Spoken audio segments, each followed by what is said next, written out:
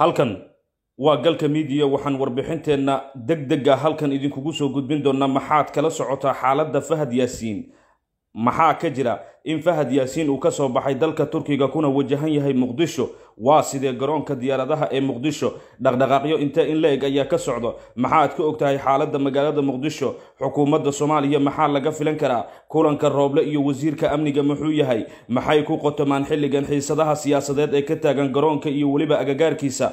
Xogtii ugu dambeysay ayaan halkan idinkula wadaagi doonaa daawadayaal. Balse marka hore sheergareeya warbixintan muuqaalkana like saara waa tahay warar soo baxaya ayaa waxa ay sheegayaan in goor dhow dalka turkiga uu ka soo duulay. Fahad yaasiin oo maanta la aaminsan yahay in lagu xanibay garoonka diyaaradaha ee jabuuti qorshaha turkiga muxuu yahay xilligan farmaajo kaalin intee in la eg ayuu ku leeyahay. Dadaalka iyo hardanka uugu jiro sidii fahad uu muqdisho u keeni lahaa. Sababta fahad xilligan loo keenayo maxay tahay? Ma dhabbaa in kulankii golaha amniga uu baaqday? Maxaad kala socotaa tallaabada rooble iyo wasiirka amniga dhaqdhaqaaqyada ciidamada garoonka diyaaradaha oo xilligan markaa xaalad adag laga soo sheegayo xaaladda muqdisho oo allow sahal ku jirta.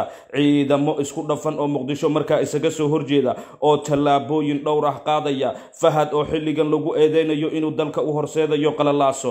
Kaalinta interbol oo xilligan bannaanka timid. Kiiska ikraan oo sii laba qarxay.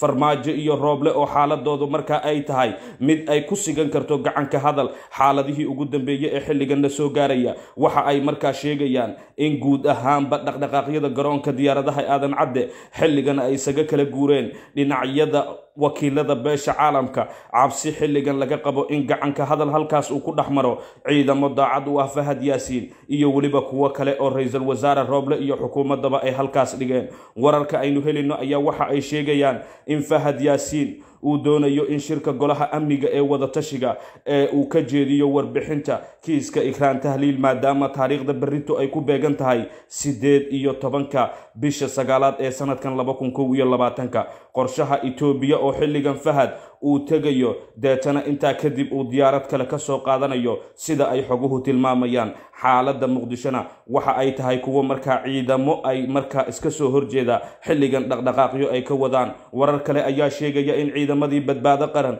muqdisho iyaguna ay soo gaareen. Shacab badan ayaa ka barakacay guryahooda gaar ahaan halka markaa xilligan laga cabsi qabo in ciidamadu ay isku fara saaraan. Balse xogihii ugu dambeeyey waxa ay sheegayaan in rooble iyo weliba wasiirka amniga kulankooda goordhow uu soo idlaan doono balse warar markaa ku saabsan dhanka ammaanka laga soo saari doono. Halkan ayaad kala socon doontaan daawadayaal. Maxay kula tahay xaaladda fahad? Maxay ku dambayn doontaa? Kiiska ikraanna sideese ayuu cadaalad ku heli karaa? Xilligan fikirkaaga waa inoo muhiim qaybta hoose ee kommentiga nagula wadaag. Wararkanna wixii ku soo kordho saacad saacad ayaad halkan kala socon doontaan. Mahadsanidi